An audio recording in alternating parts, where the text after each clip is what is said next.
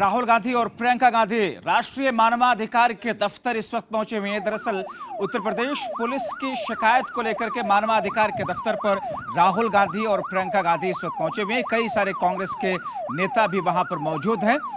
और पिछले दिनों जिस तरीके से प्रियंका गांधी ने उत्तर प्रदेश की पुलिस की बदसलूकी का मामला उठाया था कि उनके साथ में किस तरीके से बदसलूकी की गई, और आज उन्हीं तमाम चीज़ों को लेकर के इस वक्त राष्ट्रीय मानवाधिकार के दफ्तर पर प्रियंका गांधी और राहुल गांधी पहुँचे हुए और अब इस वक्त आपको सीधे ले चलते हैं, जहाँ पर कांग्रेस पार्टी के वरिष्ठ नेता और पेशे से वकील अभिषेक मनु सिंघवी, प्रियंका गांधी और राहुल गांधी एक साथ हैं। निर्देश में जनरल सेक्रेटरी राहुल गांधी जी के साथ, प्रियंका जी के साथ ये व्यापक डेलीगेशन गया है। हम आधे घंटे से ज़्यादा बैठ के बहुत विस्तार से हमने विचार विमर्श किया है।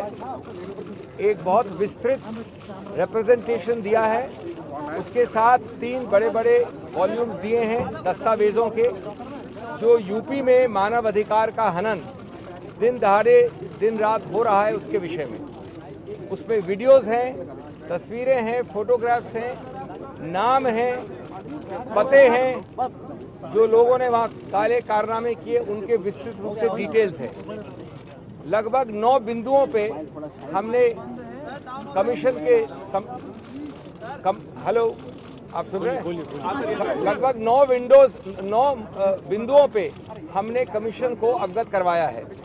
साथ साथ उन नौ में से हमने दो तीन चीज़ों के विषय में बहुत डिटेल तथ्य दिए हैं। उदाहरण के तौर पे तेईस मृत्युएँ हुई।